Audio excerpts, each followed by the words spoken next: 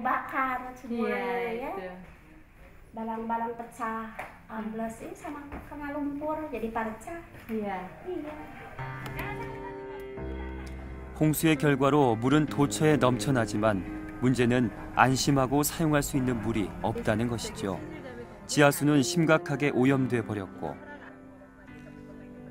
지표수 역시 홍수의 잔해와 쓰레기로 오염되긴 마찬가지.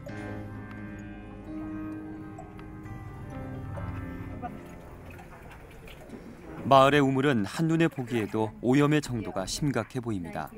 하지만 주민들은 마시고 씻는데 별로 문제 될 것이 없다고 여깁니다. 이 물 먹고 있냐고 물어봐 주세요.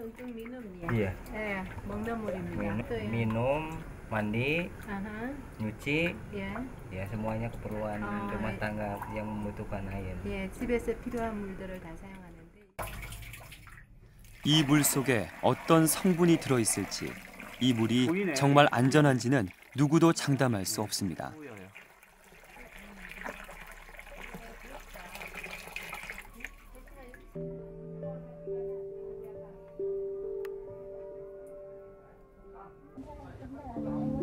그러나 돈을 주고 물을 사 먹는다는 것은 사치죠.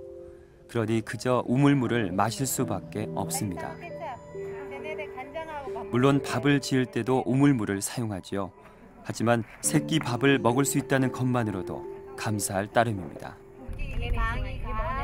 이 마을이 극심한 홍수 피해에 시달린 원인은 여러 가지가 있지만 주민들의 위생 관념도 또 하나의 원인으로 작용했습니다.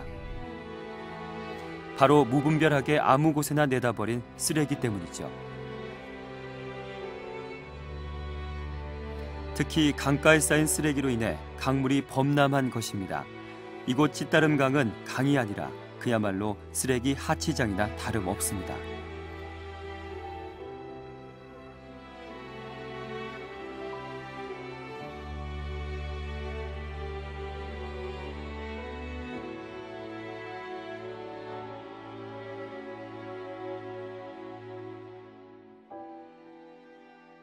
어, 거의 하천은 한, 거의 쓰레기로 뒤덮여 있는 형편이고 그래서 일부 어, 외신 기자들은 세계에서 가장 심각한 오- 심각하게 오염된 강이라는 그런 기, 기사를 내보낸 바도 있었습니다.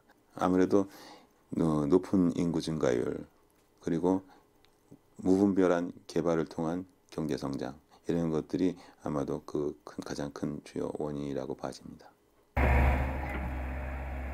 이 문제를 해결하기 위해 최근 한국의 수자원공사가 아시아 개발은행의 지원을 받아 수위 경보 장치 시스템 공사를 진행하고 있습니다. 강 근처에는 제방이 없어 언제든 강물이 범람할 수 있습니다.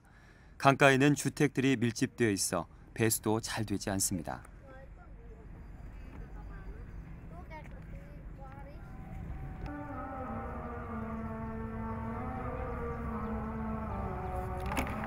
Kalau dulu masih jernih airnya bisa buat nyuci piring, nyuci piring, nyuci pakaian, buat mandi gitu. sekarang mah banyak itu sampah-sampah banyak yang nyuci apa itu sayuran-sayuran juga ke kali Citarum kalau dulu gitu.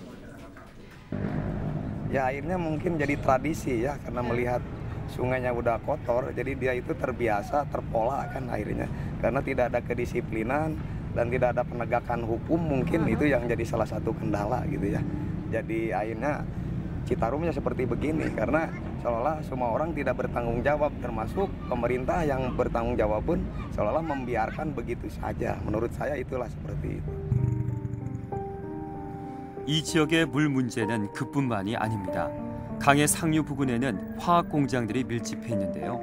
그들은 강 상류의 깨끗한 물을 끌어다 쓰고 밤낮으로 오폐수를 방류합니다.